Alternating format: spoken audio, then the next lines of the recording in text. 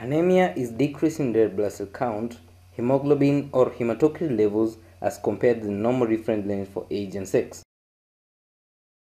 They are disorders that involve a reduction in number of erythrocytes or red blood cells and include both inherited and acquired disorders. As a general rule, anemias are a result of either altered production of red blood cells, loss of blood volume, increased erythrocyte destruction, or a combination of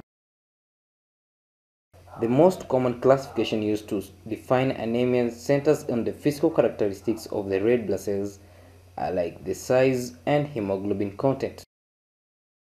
If there is a change in the cell size, the suffix cytic is used such as normocytic, macrocytic or microcytic anemias.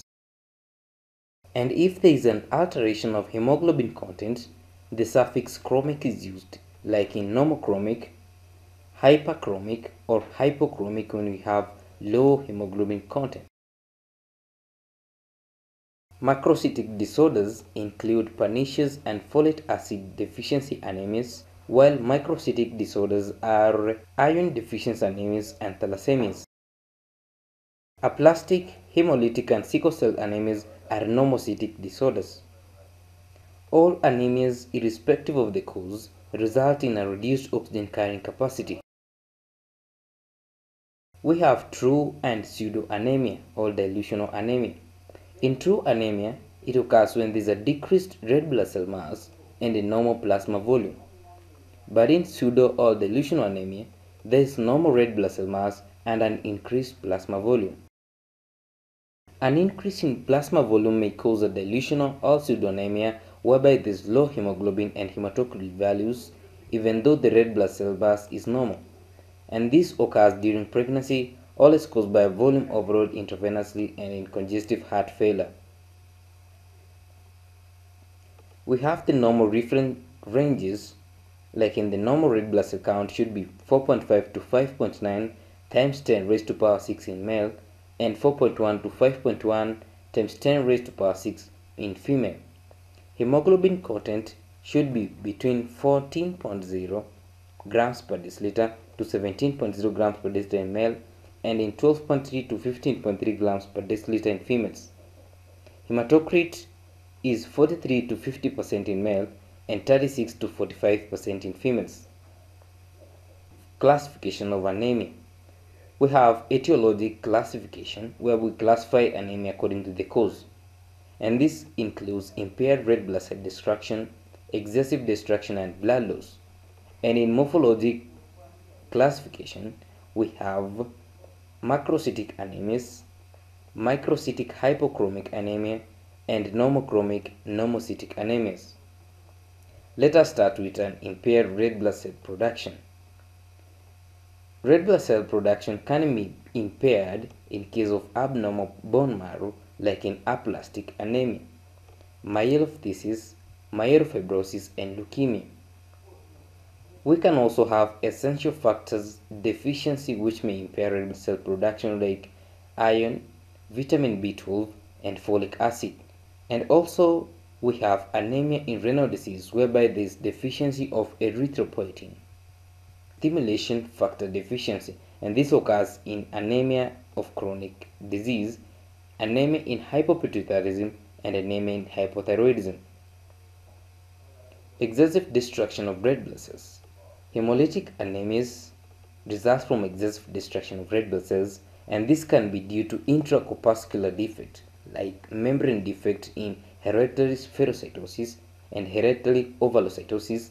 We have enzyme defect in glucose 6-phosphate dehydrogenase deficiency and hemoglobin defects like in thalassemias and hemoglobinopathies.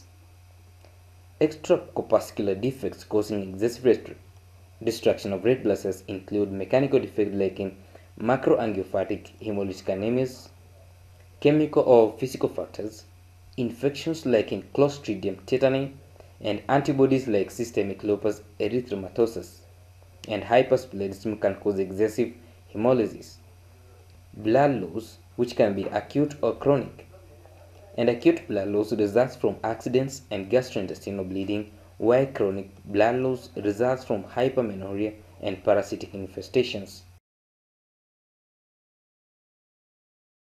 Morphology classification We have three classes macrocytic anemia, where the MCV is more than 94 and mean cell hemoglobin concentration is more than 31, and this one can be caused by megaloblastic dysbiosis vitamin B12 deficiency leading to pernicious anemia, folic acid deficiency like in nutritional megaloblastic anemia, and inborn errors of metabolism like in orotic aciduria and abnormal DNA synthesis like in chemotherapy, anticonvulsant therapies and oral contraceptive use.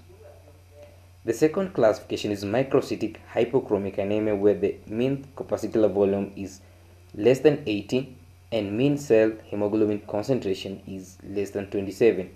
We have iron deficiency anemia due to chronic blood loss, inadequate diet of iron, malabsorption of iron or increased demand like in pregnancy.